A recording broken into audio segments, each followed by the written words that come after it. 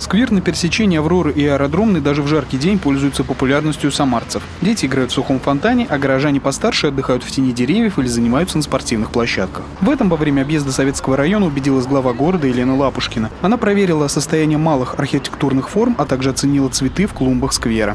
Видно, что за сквером ухаживает, и вижу, что он пользуется популярностью. Да, сейчас очень жарко, не так много людей, но сколько детворы у нас на фонтанах. Вижу, что изумрудная трава, цветут цветы. Конечно, хочется увидеть такую же картину на всех оставшихся объектах.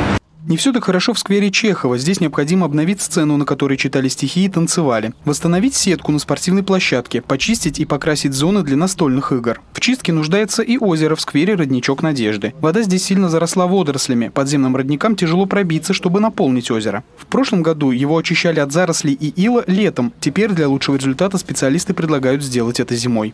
Понимаем, что надо чистить и надо определиться все-таки с технологией. Сейчас вот предлагают почистить это зимой, когда озеро полностью промерзнет. Посоветуются специалисты.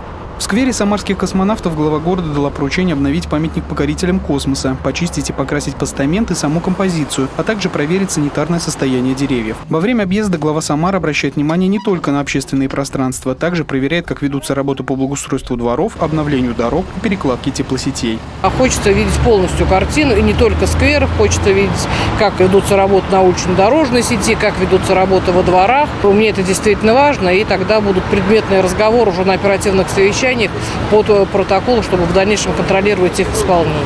До конца августа глава города проверит общественные пространства, которые были благоустроены с 2018 года по федеральным и региональным программам во всех девяти районах города. Особое внимание будет уделено тем территориям, о которых часто пишут жители. Андрей Горгуленко, Николай Епифанов. События.